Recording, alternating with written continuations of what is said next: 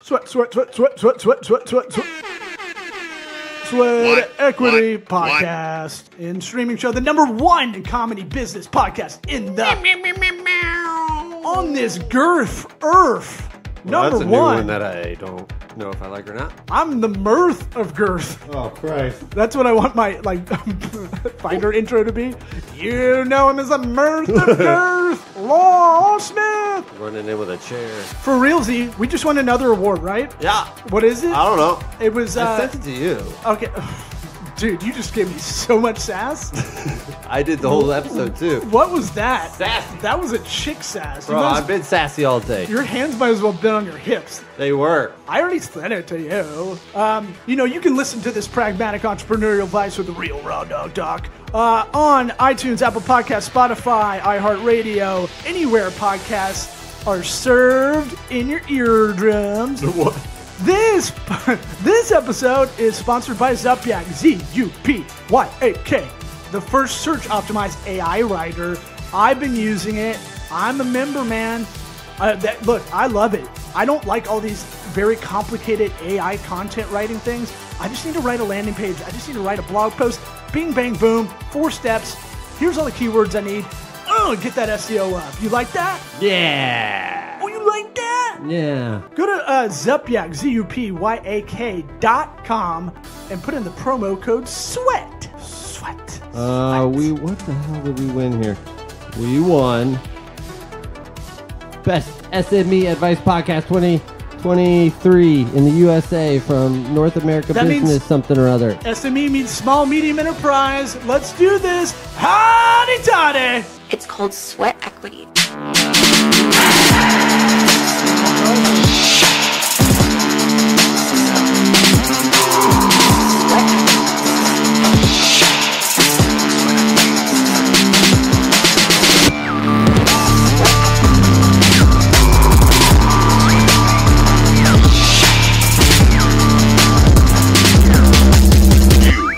Listening to the Sweat Equity. Yeah, we uh we just do the podcast kind of live on tape. We we try to keep it efficient for all our guests. Um, Good. Joe, why don't you um want instead of me trying to, you know, stumble through your bio, why don't you uh why don't you give a short bio and where to find you? Any links or plugs you want to promote? Yeah, sure. So my name is Joe Khoei. I am uh, a San Francisco Bay Area resident since the 80s. And um, I started a digital advertising agency called SalesX.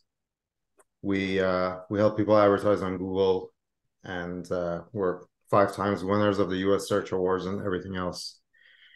Uh, besides that, I uh, started a company called XCBD.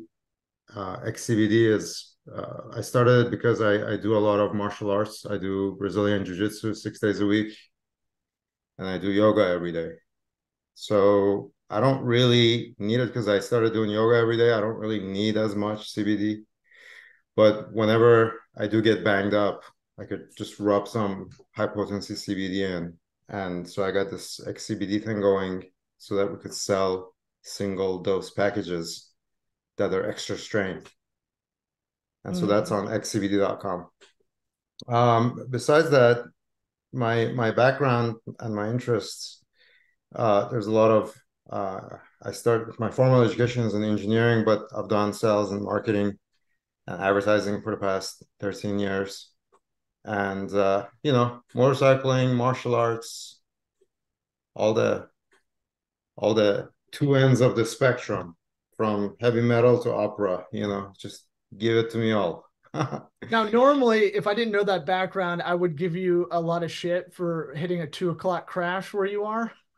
Um, because you're very, but you're very calm, probably because of the things you're doing, like that, like the jujitsu, you know, the yoga. Uh, the most calm people I know are kind of into that stuff on a daily basis. So, uh, yeah.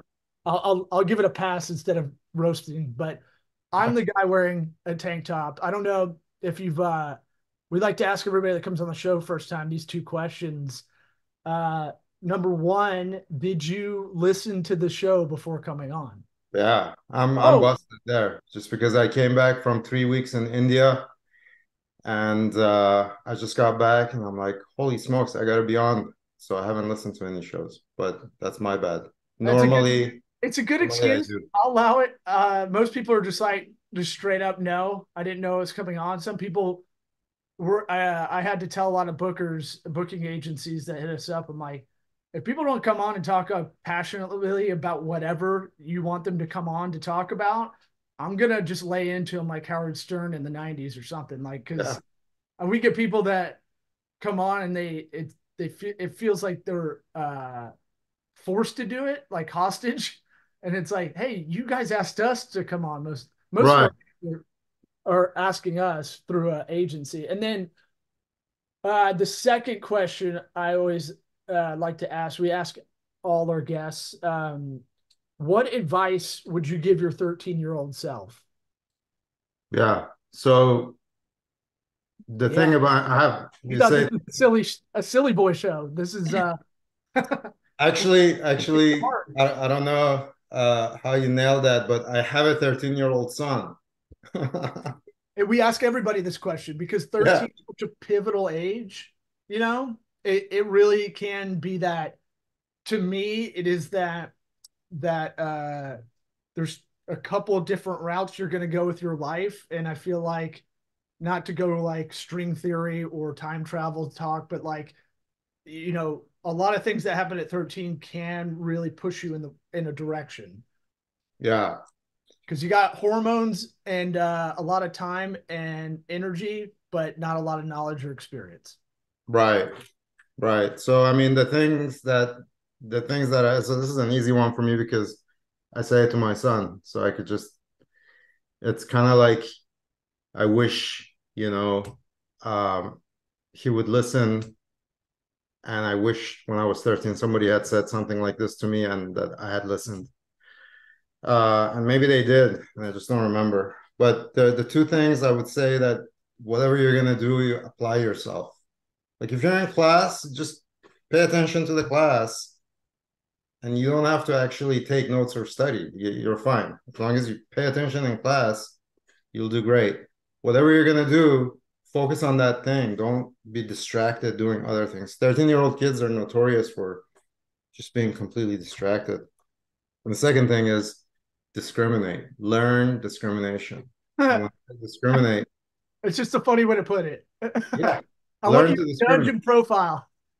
Huh?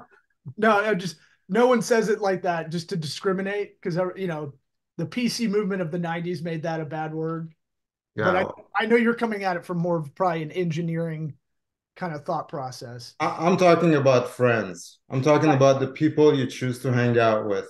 I'm Filter. talking about being careful about who you decide to spend your time with and give your time to, and the things that you decide to do. Think about it in the terms of Am I getting dumber by doing this, or am I getting smarter by doing this? if the answer is I'm getting dumber, you know, don't do it anymore. I or kinda- uh, I, I think about that kind of constantly. I'm 39 right now and I'm kind of in that zone. I'm like, does this benefit me or my kids? Right. Like, it's basically what it comes down to. Time is a commodity when you get older. I mean, it is as you're 13 or younger, you know. But the more I thought about it as a unit of measurement, and you, it's finite, and you don't know how finite it is, right? You don't know what that in that end number is. Oh, you do know. You Well- know that it's gonna be about 82 years at best Yeah, but I mean, I could get of like much tomorrow. meaningful I'm saying. living. After that, it's gonna be kind of like you're on borrowed time. Up to 80, 82, you're good. If you make it that far. So it's not it's not gonna be 500 years. I'm really well. I'm really banking on my consciousness getting uploaded to some kind of robot or something. Yeah. A Neuralink, maybe at 82. Right. Get in there, Right. That would be and I won't know if I'm real or not. Um, it'll be Wow. matrix-ish. Uh, Yeah. so so where I, we like to ask that question because uh, we kind of stumble backwards into kind of a Rorschach test of sorts with that question, and so it'll it kind of tells us where you currently are, what you currently think about in the future a little bit, but uh, it really gives us a peek into your background as as a kid. Whereas, so you're a successful serial entrepreneur now. but you know that's never without any failure. Um, and it sounds like maybe you uh, either I don't I couldn't tell if this the answer the number one part you had to your answer was because you didn't listen like ADHD ADHD style or because you just kind of blew off any anybody giving you advice.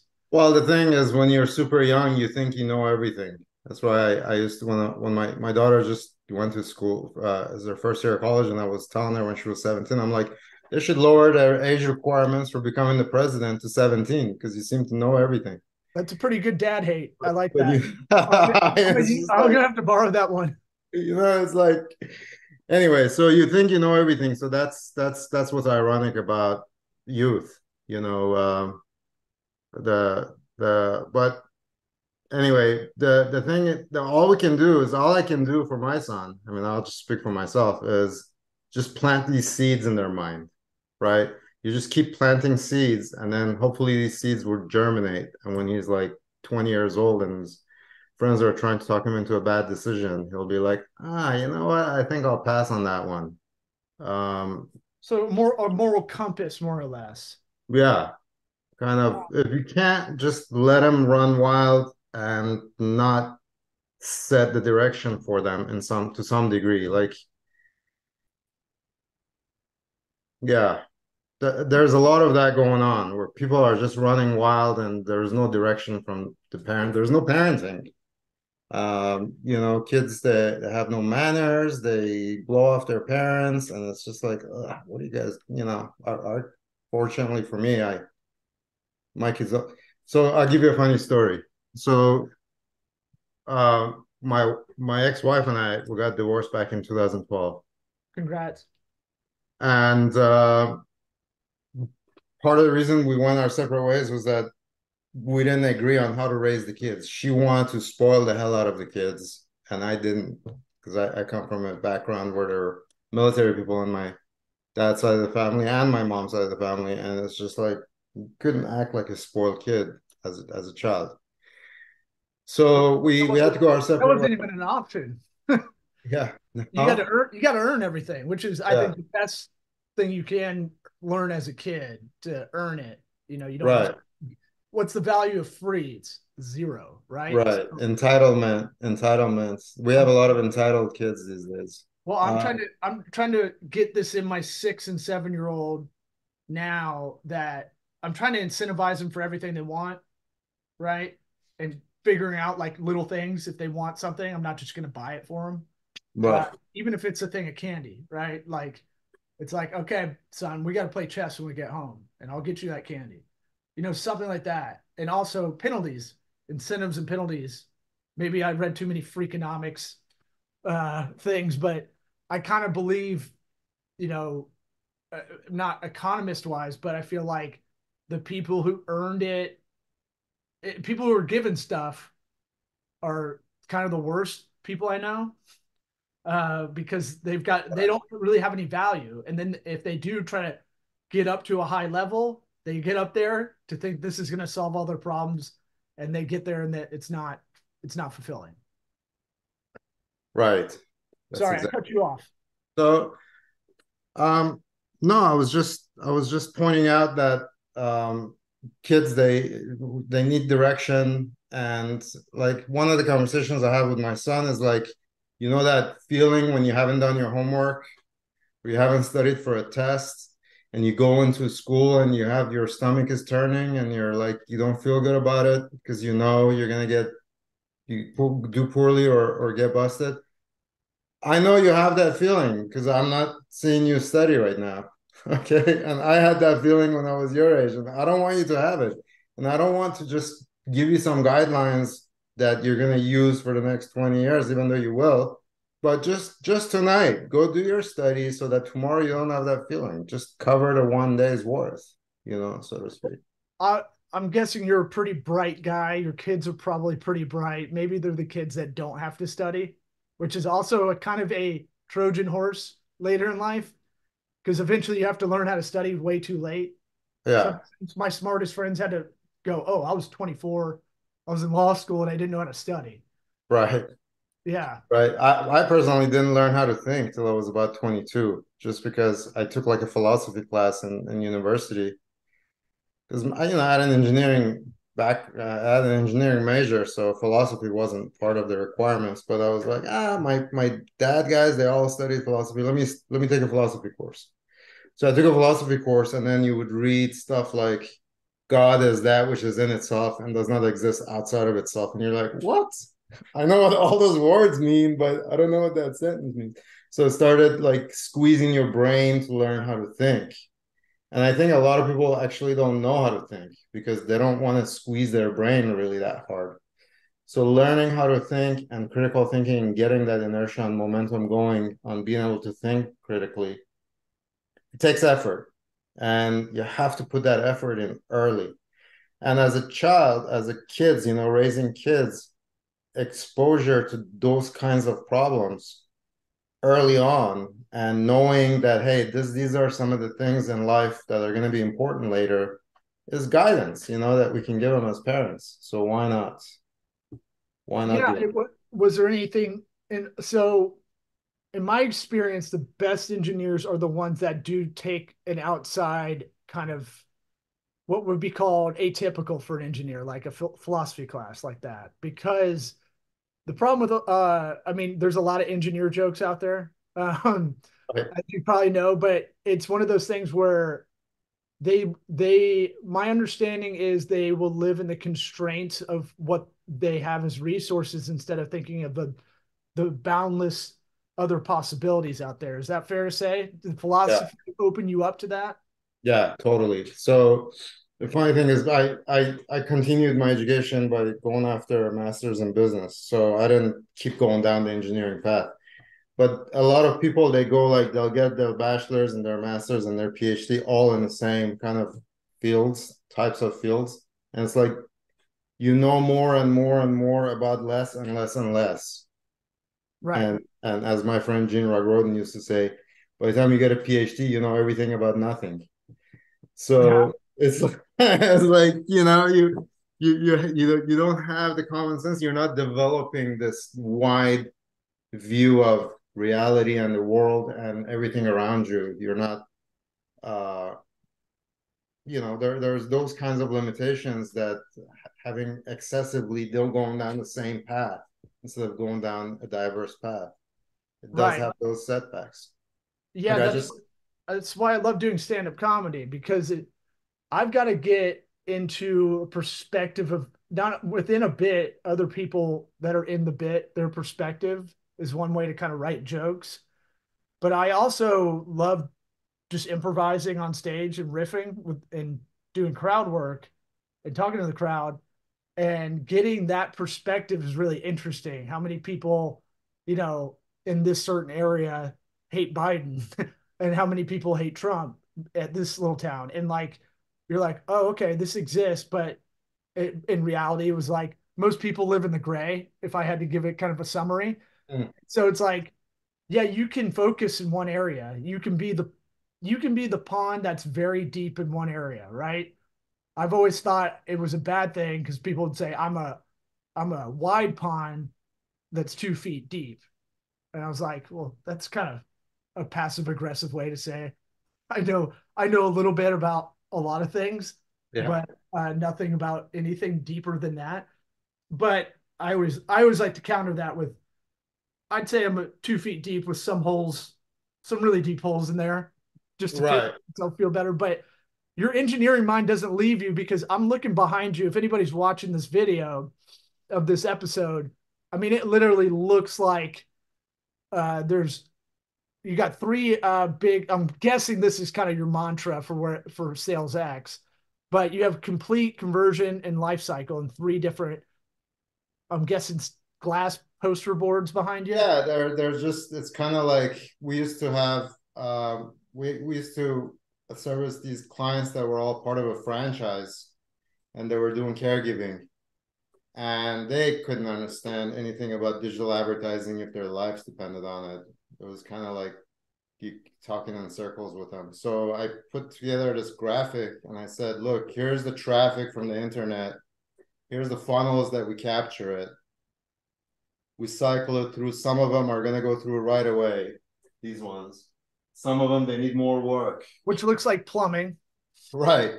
So these ones they they're ready to buy, and these ones they're not ready. And if they're not ready, you know, these are the six different categories that are not ready. So you gotta, you know, for the each different category, you have to The stages have of process for each That would of be your stages of qualification, right? Yeah, yeah, Okay. and then and then just goes on and on, different channels, how it's structured, and blah blah blah.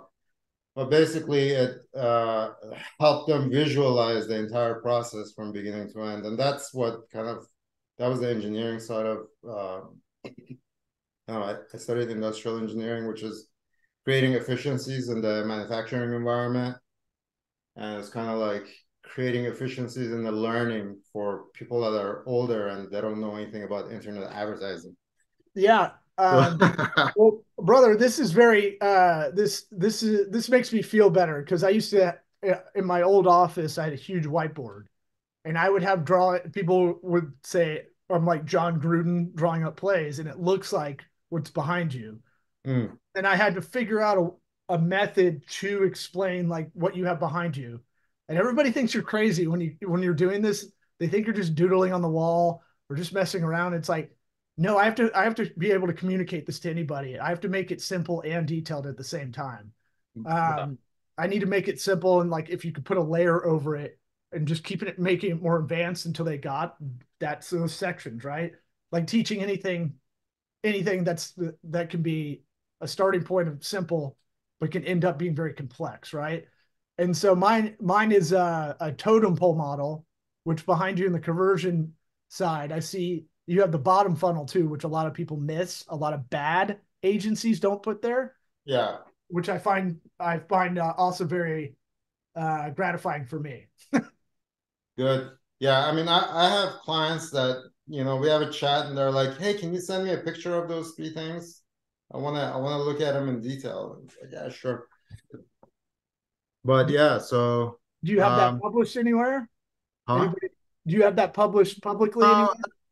I don't think it's published. I think it's it's in um it's in some brochures that we we printed, you know, so it's in one of those platforms where you can print on demand, but it's not published. Maybe we maybe we'll publish it. It's I mean it's not a big deal. I put down Um, a, big goal of uh, I was really uh, edible high one night, and I was like, I want to get this totem pole model to be in one of those Harvard Business Review models they show. You know, Yeah. get with the five forces, those guys. Right. Um, so I have a theory on, and you said you're in the Bay Area, correct? yeah. So I've got a bit of a theory uh, on it, it's more the Bay Area kind of people that get successful. I find they all all and we're seeing this with the billionaires. You see Jeff Bezos is yoked now. Right. You got Musk and uh, uh, Zuckerberg that are doing jujitsu. Warren. Buffett still eating McDonald's every day. He's chilling, but I don't know if he's eating it every day. You might say that. well, I doesn't he eat? He eats like the same McDonald's breakfast every day or something like that. If you eat McDonald's every day, you're not gonna make it as long as Warren Buffett's been alive. Well, his his partner just passed away. That that uh, was uh, had an incredible story I read the other day. But uh, I have a theory that you get so successful that eventually you have to get into martial arts and, or get yoked. Is that? Do you see your colleagues, your other serial entrepreneur, CEO, founders, any of those guys in that in that realm? there are a lot of kind of nerdy, skinny, nerdy pencil neck types that are really successful at work. Uh, engineers, entrepreneurs that do jujitsu because, It's humbling. well, jujitsu, the what I've done a lot of martial arts. I, I got my black belt in Shotokan back in '99. I did Kyokushin, the the full contact karate. I got like a brown belt in that. I started doing jujitsu because it's still full contact, but you don't. There's no striking, Right. right? So it's kind of like it's like submission grappling. It's almost like wrestling, but if your back hits the mat, you don't lose. You can just keep going. You can start just laying on your back if you wanted to. It's not a big deal. Not a lot of striking. Uh, There's no striking. Right. There- There's zero striking. Well, I'm saying if you're playing, if you're working with amateurs, you might get some of those. well, yeah, those. I mean, so there, there's actually a really funny meme. It, it shows two dogs at the bottom. There's like a there's a pit bull that's just like, you know, frothing at the mouth, and and I know pit bulls they don't they're not people unfriendly, so um, that's just I'm just describing the thing. You don't have to. Um, don't worry about it. I've said yeah. horrible stuff on the show. You're, No you're- so uh, the the pit bull is like frothing at the mouth and it's like in full attack mode. And then below it it says jujitsu white belt. And then on the top there's this lab that's just sitting super chill, you know, yeah. looking super cute and it says jujitsu black belt.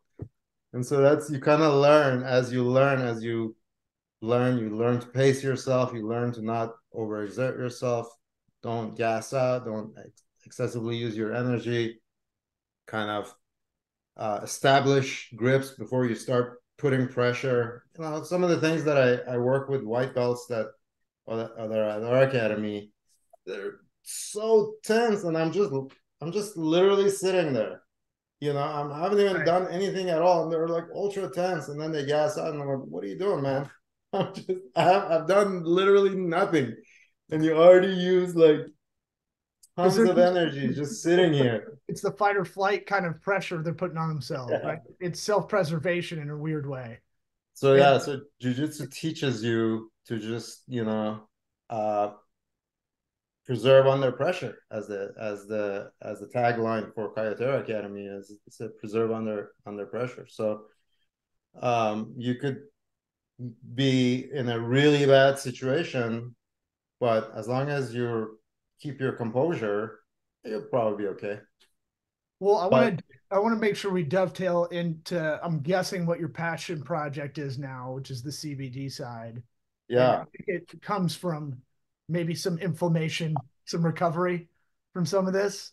Yeah, so this stuff here, so what happens is if you look, so I started using, you know, from back in the day when I was doing Thai boxing and shin kicks and all that stuff, you use like um Tiger Balm, you use like Tiger Liniment, China Gel, you know, all this different stuff. I'm gonna just say, yeah, I'm gonna agree. I don't know what any of those are, but they sound amazing. Yeah, and and and and sound like gas station pills. No, no, it's just like because you get these like bruises on your shins from shin kicking hard sandbags, and Right. then you roll them out with like a you know, and then you rub this stuff on it to anyway. Bottom line is that I've been using a lot of this stuff, and then when CBD started coming in the market, I started buying the different CBD things. I bought like 10, 15 different ones over time. I had that just like would sit on the counter. Had every kind that you could imagine. And uh, you know it was hit and miss if they worked. So what i did is i started looking into the the clinical this is the engineering side the clinical trials data. I'm like let's look and see what the clinical trials data shows on the cbd and there's actually a document out there that is um, a summary of all the because there aren't that many. There's like 15 20 of them and there's a summary of all of those in one document. And there's a table of the dosages. And i saw the dosages and the dosages for each single dosage was over 100 milligram. Like mi- 100 milligram for a single dose was like the minimum.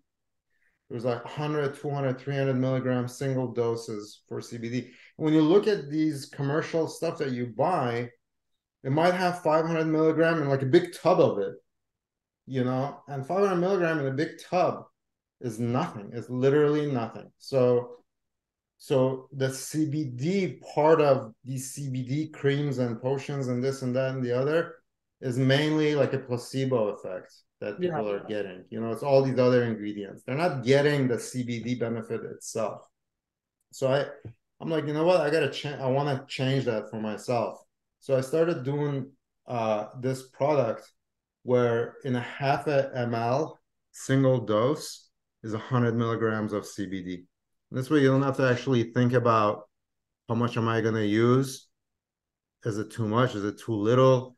You just take the one packet and you fold it in half. You squeeze the oil out into your palm, and then you just use that. You can use it on your shoulder, on your elbow, any of your joints, any of your kind of knees, uh, back, neck, anywhere that's hurting. You just rub that in. And the funny thing is that when you look at the reviews and when people, you know, give me feedback and stuff, I have this big surprise in their face and they're like, it works. That's like the biggest compliment. it's like, yeah, it Yeah, no, works. Yeah, yeah. it really works. Like, yeah, because it's got like an entire tub's worth of CBD in one dose. so you're basically for whatever reason, people selling this stuff out there, they're not putting the right, you know, anything significantly valuable in there. So so what when you when did you come into this market? Start looking at it. I mean, I started so there was there was there were about a year and a half ago, two years ago. Oh wow, I didn't Yeah. know. Okay, So a couple so of years it- ago, I started, and then it took a year to come up with the product.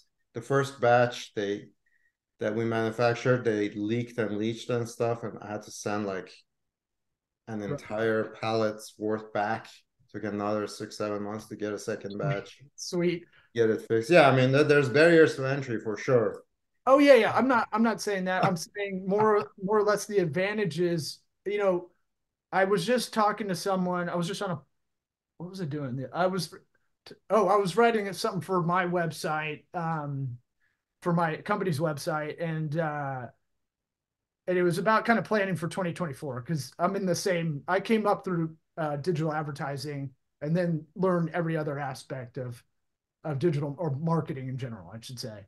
Okay. Um, and so, and I think I have a puzzle brain like you do. Um, and so, but I was saying AI is the most overused. It's going to be the it's the most overused 2023 marketing word, like maybe keto, because anything could be keto because there's no qualification. And then what you're saying is you saw the opportunity of like there's aggressive expansion of that market, right? The CBD market the last 10 years. But Right. no one's really doing the quality control and no one's really doing it correctly. Uh, and you're saying, you know, they're barely putting enough in there for unless you're like one of those very sensitive people, like I can't have a coffee after two o'clock or I'm I'm up all night. You know, that's fine for them maybe. But Right. it never worked on me, and that's why I want to go on xcbd.com and try it out. Yeah, for sure. I mean, there's the, so if you if you look into if you read about the placebo effect, you'll find that just like everything else, there's a bell-shaped curve. Most people, placebo works for them to some degree. Some people, it really works for them, and some people, it doesn't work for them at all. Yeah. Right. So if you're part of the people where placebo really works for you, consider yourself lucky. Amen. You know, you don't you don't need Tylenol. Right. Just take a regular sugar pill and you know it'll work like Tylenol. You're good.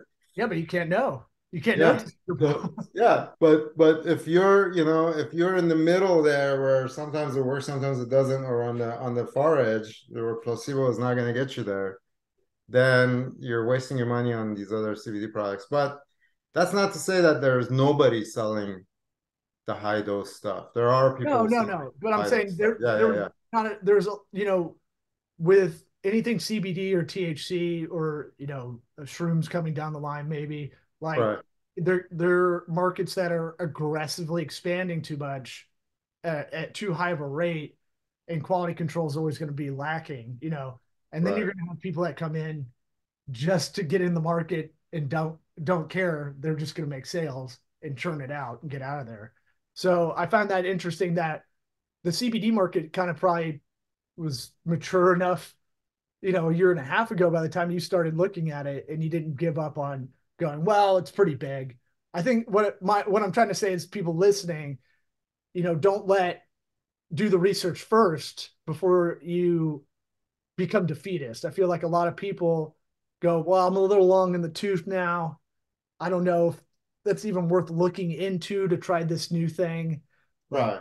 even if it's martial arts or hey let me go look at these cbd studies. I know how to read them um, and my my hunch and you do the scientific method my my hunch is they're not doing it correctly in a lot of these and uh, I find that very interesting because I'm guessing you don't need to do this CBD company. No, and that's that's the key. So the the thing about the the CBD was that I see the need. There are a lot of people doing like martial arts like jujitsu and they're not doing yoga every day. Which means that you get stiff you know your your muscles are all tight so you're only going two three days a week and and so you need the cbd you need something. So i was one of those people. I, again i started like heavy duty doing yoga and this, this program i just came back from was like yoga teachers training Whoa! I see the gold seal on that certification. Yeah, yeah, yeah. For uh, for Ghosh Yoga, which is Ghosh was the teacher of Bikram. Vishnu Charan Ghosh was teacher of Bikram, the younger brother of Yogananda, the author of Autobiography of a Yogi. So, big fan of all of those uh, kind of Indian yogis. Uh, so I don't really need it as much now, but I run into people just just my last order, she sent she she left a review and she's like, yeah, my mom uh, has a torn ligament in her shoulder. She's waiting to do surgery, and my dad has arthritis in his fingers, and they're both using it and they love it, you know, and and you're bettering their their life. It's like great, wonderful. I that, mean, my know. hope my hope is you can take out a, just a chunk of the painkiller market with this a little bit, you know. Uh, but that's a that's a whole other uh, that's a whole other topic. I'll I'll maybe save for when we can get you back on, but because uh, that's a very depressing topic as well. Um, anything else before we get out of here? I want to keep you on time. I want to make sure. Yeah, no, I mean, I, I really appreciate uh, the opportunity to have a chat, Law, and I I did check out your website uh, briefly. I like your style.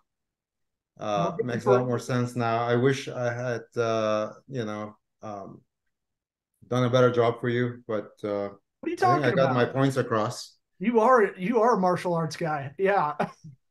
because all the martial arts guys I know are like uh, they're like, man, I you know I could have done better at whatever we're doing, and I'm like, you're fine, you're doing fine, you were great. Yeah. Look, I told you if you were boring, I just I would dominate this this whole thing. So, um, uh, but good. I think we get to some bullet points I had for you. We'll have to get you on again at some point, and um, we're gonna get some product because we like uh we like testing out any of our guest stuff.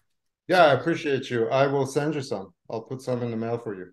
All right, sounds good, partner. Well, thanks for coming on, and uh, so yeah, I'll, I'll we'll have to have you back on when uh, Eric, my co-host, is not on hiatus right now. So, got you. All right. Sounds good. Thanks so much. Take care. Bye. Bye.